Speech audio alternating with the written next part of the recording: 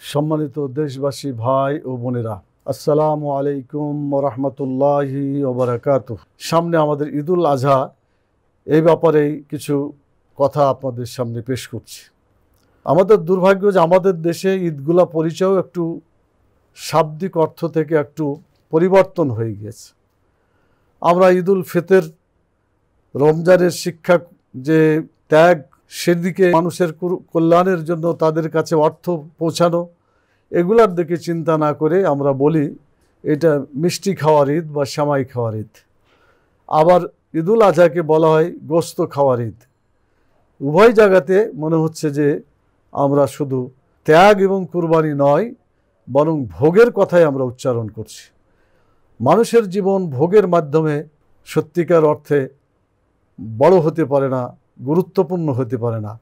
বরং যারা ত্যাগ এবং কুরবানি পেশ করতে পারে, তাদের জীবনে সত্যিকার সুন্দর হয় এবং আকর্ষণীয় হয়, দুনিয়া এবং আখেরাতে কল্যাণময় একটা জীবন তারা গঠন করতে পারে। কোরবানির যে শিক্ষা, সেটা হলো নিজের পশুত্বকে কুরবানি করা।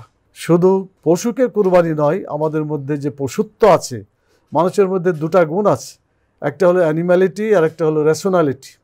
মানুষ যদি অ্যানিম্যালিটি দ্বারা পরিচালিত হয়, তখন সে আর মানুষ থাকে না, পশুতে পরিণত হয়ে যায়। যদি রেশনালিটি তার প্রাধান্য লাভ করে, তাহলেই সে মানুষ হতে পারে। সেই জন্য কবি নজরুল ইসলামের সেই কথা, তোরা ভোগের পাত্র ফেলরে ছুঁড়ে, ত্যাগের তরে হৃদয় বাঁধ। অর্থাৎ ভোগের পাত্রকে নিক্ষেপ করে ত্যাগের মহিমাকে আমাদের জীবনে নিয়ে আসতে হবে, তাহলে আমরা কোরবানির শিক্ষা লাভ করতে পারব। আল্লাহ তালা কোরআন মাজিদের সুরা সাফাতের একশো সাত এবং একশো আট নম্বর আয়াতে বলছেন অফাদাই না হু বেজেবিহীন আজিম ও তারাক না আলাই হেফিল আখেরিন। অর্থাৎ আল্লাহ তালা সেখানে হজরত ইসমাইল আলাইসাল্লামের পরিবর্তে একটি বড় দুম্বা কুরবানি করতে দিলেন এবং এই সুন্নাতকে পরবর্তী জেনারেশনের মধ্যে চালু করে দিলেন। কোরআন মাজিদের আয়াত থেকে যেটা বোঝা যায় সেটা হচ্ছে হজরত ইব্রাহিম সাল্লামকে তার ছেলেকে জবাই করার নির্দেশ দিয়েছিলেন। এই কারণে যে আল্লাহর হুকুম বেশি বড় মনে করেন না ছেলের মহব্বতকে বেশি বড় মনে করেন, পরীক্ষায় হজরত ইব্রাহিম সাল্লাম পাশ করেছিলেন। এর আগেও হজরত ইব্রাহিম সাল্লাম এমন একজন নবী ছিলেন এবং উলুল আজম অত্যন্ত বড় মাপের নবী ছিলেন। তার জীবনে অনেক পরীক্ষা হয়েছিল। তিনি আগুনে নিক্ষিপ্ত হয়েছিলেন। তারপরেও তিনি আল্লাহর পথ ছাড়েন নাই। বিভিন্নভাবে তাকে পরীক্ষা করা হয়েছে। শেষে আল্লাহ তালা তার পুত্রকে কুরবানি করার যখন নির্দেশ দিলেন, ফালাম্মা আসলামা ও তাল্লাহুল জামিন যখন দুইজনে সারেন্ডার করল জবাই করার জন্য উদ্যত হয়ে গেল, তখনই আল্লাহ তালা ডেকে বললেন, যে হে ইব্রাহিম, কাদ সাদ্দাক তার রুইয়া, তোমার স্বপ্নকে তুমি সত্যে পরিণত করেছ। আল্লাহ তালা তার এই কাজটাকে খুবই পছন্দ করলেন। আল্লাহ তালা তার সন্তানের পরিবর্তে একটা দুম্বা দিয়ে কুরবানির ইতিহাসকে প্রচলন করলেন, যেটা আজ পর্যন্ত আমাদের মাঝে আছে। প্রিয় ভাই এবং বোনেরা, এই কুরবানির গোস্তকে আমাদের শরীরে যতটুকু রক্ত হবে, যে শক্তি হবে, এটা আল্লাহর আইনের জন্য ব্যয় করতে হবে। এটাই হচ্ছে কুরবানির শিক্ষা। শুধু ভোগ করে আমরা জীবনকে শেষ করে দিই, তাহলে কুরবানির শিক্ষা পালিত হবে না। আমাদের মাঝে এরকম লোক তৈরি হতে হবে যারা হজরত ইব্রাহিম আলাইসাল্লামের মতো আল্লাহর হুকুম পালন করার জন্য নিজের পুত্রকে জবাই করতে পারে। হজরত ইসমাইলের মতো এমন সন্তান হতে হবে, জীবনকে আল্লাহর পথে বিলিয়ে দেওয়ার জন্য তার পিতাকে বলতে পারে যে, আমাকে ধৈর্যশীল পাবেন, আপনি দেরি করেন না, আপনি জবাইয়ের কাজ শুরু করে দেন। হজরত হাজেরা আলাইসাল্লামের মতো মহিলা দরকার, যারা তার সন্তানকে আল্লাহর পথে কুরবানি দেওয়ার জন্য পাঠিয়ে দিতে পারে এবং শয়তানকে পাথর মেরে তার ষড়যন্ত্র থেকে নিজেকে রক্ষা করার ইতিহাস সৃষ্টি করতে পারে।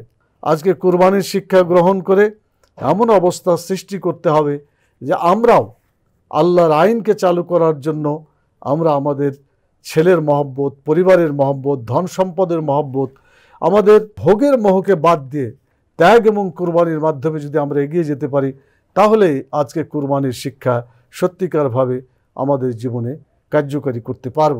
সুরা মমতাহিনার চার থেকে ছয় নম্বর আয়াত আল্লাহ তালা বলেছেন যে যারা আল্লাহকে ভয় করে, যারা আখেরাতকে ভয় করে, তাদের জন্য ইব্রাহিম সাল্লাম এবং তার অনুসারীদের মধ্যে উত্তম আদর্শ নিহিত রয়েছে।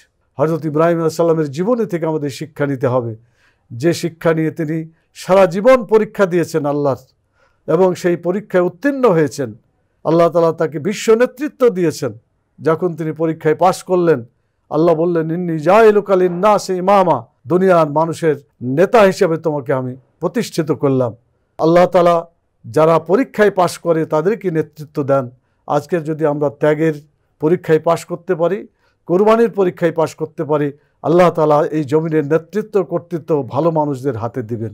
সেজন্য যারা বাংলাদেশে কোরআন, সুন্নার আইন প্রতিষ্ঠা করতে চান, যারা এই দেশে জনমানুষের কল্যাণ করতে চান অসহায় গরিব মানুষের পাশে দাঁড়াতে চান, তাদের সমাজ কল্যাণমূলক কাজে এগিয়ে আসতে চান, আজকে তাদেরকে এই কুরবানির চেতনা নিয়ে এগিয়ে যেতে হবে। বাংলাদেশ জামাত ইসলামী এই কুরবানির ইতিহাসকে সামনে রেখে আমরা বলতে চাই যে আসুন সকলে মিলে আমরা শুধু গরু, ছাগলকে কুরবানি নয়, আমাদের নিজের পশুত্বকে কুরবানি দিয়ে সত্যিকার মুসলমান হিসাবে আমরা যাতে গড়ে উঠতে পারি, আল্লাহ তালার সেই কথা আমরা যাতে বলতে পারি, ইন্না সলাতি মনুষ্যকি ও মাহিয়া ও মামাতিল্লাহ রব্বিল আলমিন। নিশ্চয় আমার নামাজ, আমার কুরবানি, আমার হায়াত, আমার মৃত্যু সব কিছু সেই মহান রব্বুল আলমিনের জন্য, যিনি গোটা দুনিয়াকে পরিচালনা করছেন। আমরা সেই মহান আল্লাহর বিধানকে ব্যক্তি জীবনে, পরিবার জীবনে, সমাজ জীবনে, রাষ্ট্র জীবনে বাস্তবায়ন করার জন্য আমাদের এগিয়ে আসতে হবে। অত্যাচারী এবং নির্যাতনকারী যারা আছে, তাদের বিরুদ্ধে আমাদেরকে মাঠে নামতে হবে।